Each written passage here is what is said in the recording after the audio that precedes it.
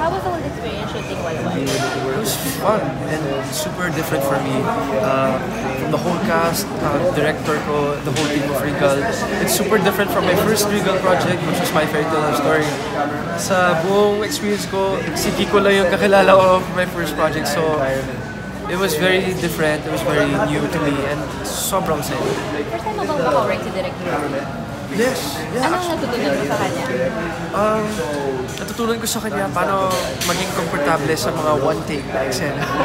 Kasi like almost all of our scenes ginawa siya in one take lang because he really wants to capture yung authenticity at saka yung pagiging organic natin. So, if if nothing is wrong with the scene sa first take, good na sa akin.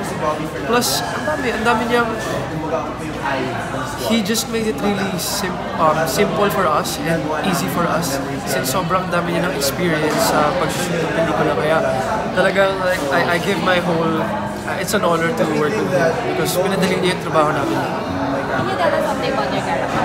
Uh, I play Don D. De La Cruz. He's, uh, well, all of us are in college.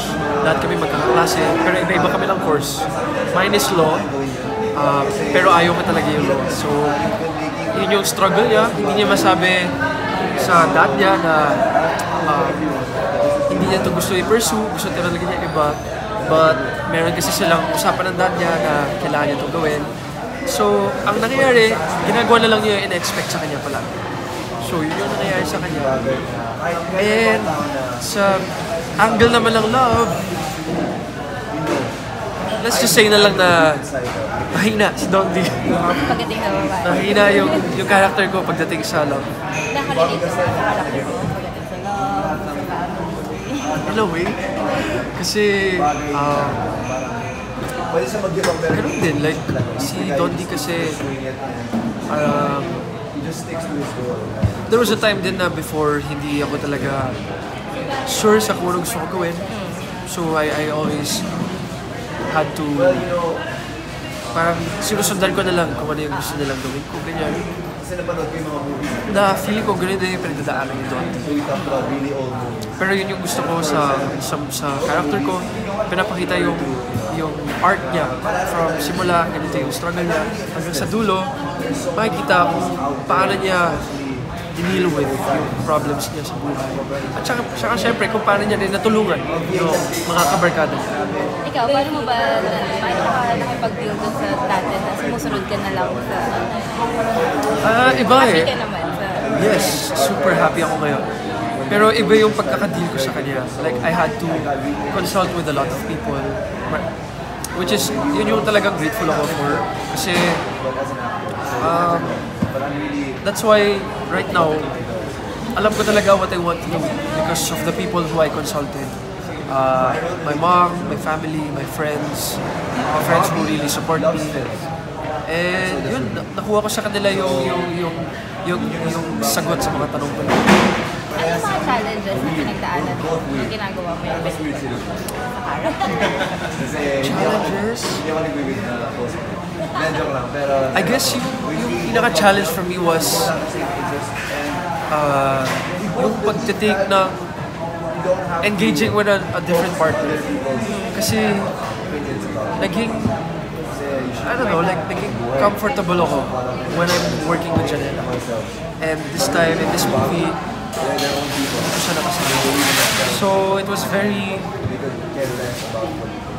challenging for me na iba yung nakaparehas ko, iba yung mga nagiging ka-eksena ko. Actually, in all, hindi lang sa love angle, pero yung challenge din na magiging natural sa mga kabarkada ko. Ganyan. It was very difficult nung simula.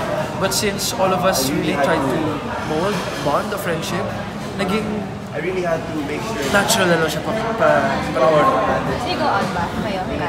Yeah. Kasi normal lang siya. Based sa title, meron ka bang walwal na experience na talaga? If not sa'yo, meron ka bang naalala sa friend mo? Parang funny story. Oh yeah, meron. Funny story. I don't know if ano funny. Um, about the way it's really interesting.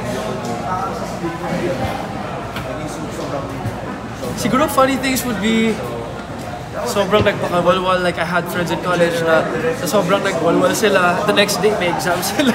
At, at ah, hindi sila nakapag-prepare masyado. Nakapasok sila, but they weren't prepared for the exam. Ah, stuff like that. Umasa sila, actually. Na talagang kumapit na lang sila sa sa um, stock knowledge, ganyan. And wala lang, na, na, nakakatuwa. Ano yung gusto mo maging takeaway ng mga manonood after watching?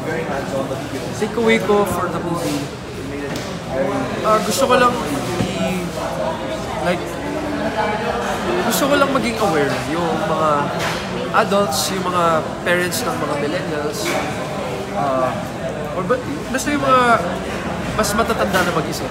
Gusto ko lang sila maging aware with kung paano na yung generation na yun. Because, like what my other cast members were saying kanina, na it's true na iba na talaga mag-isip yung generation.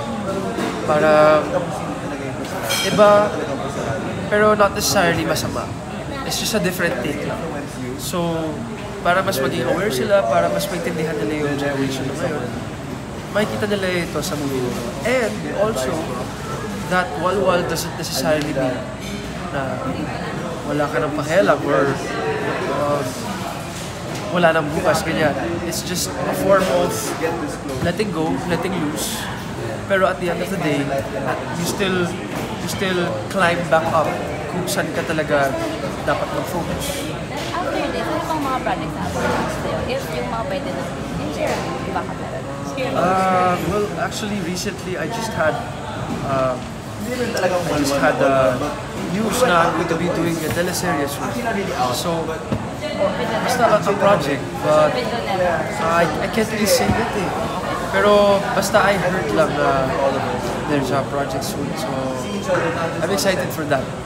And yun, um, actually, speaking of me and Janela, we actually have out-of-town shows. Uh, we're, we'll, we'll be going to New Jersey uh, sometime. Oh, sorry, pero kakakita lang ng poster, bro. That's so cool. Ain't this jiggy? So cool, bro. So cool. Uh, but again, uh, you know, like me and Janela, we're going to have shows out of town.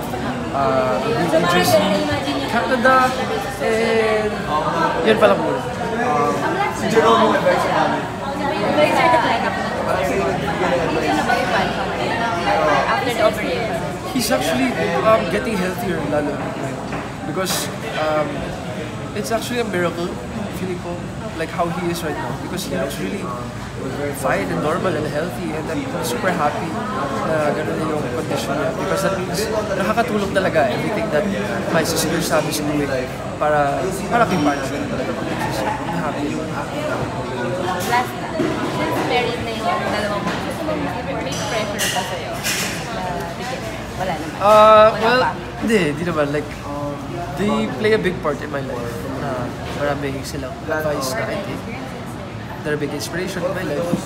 Pero at the end of the day, that's their life. And when they choose to get married, it's up to them. Ako, I don't see myself uh, getting into that stage of life. yet. Wala pa ako sa sa stage there Thank you. Thank you din, thank you. Thank you.